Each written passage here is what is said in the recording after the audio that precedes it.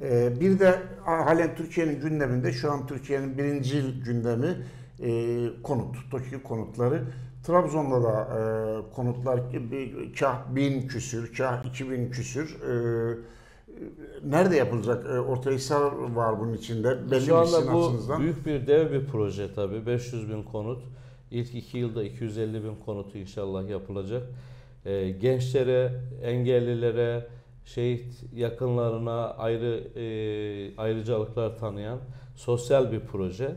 Ve hakikaten kira öder gibi 240 aylarda e, bedeli ödenebilecek bir proje. Cumhurbaşkanımıza buradan şükranlarımızı sunuyoruz. Çünkü zor zamanda ve ekonominin o belirsiz spekülatif kira artışları veya ev fiyatlarındaki e, absürt artışların önüne geçebilecek ve bu manada belki piyasayı da regüle edecek bir adım, dev bir adım.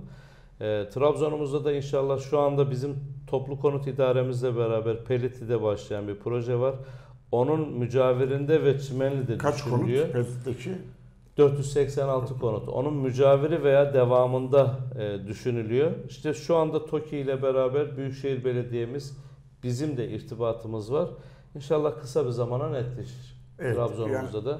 E, Şu anda bilinen sadece Pelitli'de sizin devam eden konutların etrafında tekrar bir yeni Evet. istimlak alanı var. TOKİ'nin şu anda böyle bir çalışması, Çalışması var. var. Bu projeye özgü olarak Evet. ama.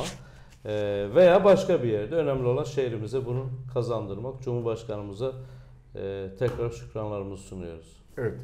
Ee, vizyon, misyon, Bunlar ayrı bir vizyon ve en mutlu değerlendirelim. şehir dediniz. Ee, bunlara girmeyelim. Teşekkür Tamam. ediyoruz. Biz Ee, teşekkür ederiz. zamanımız e, böyle Projelerle ilgili ayrı bir toplantı ayrı bir program yaparız. yaparız inşallah.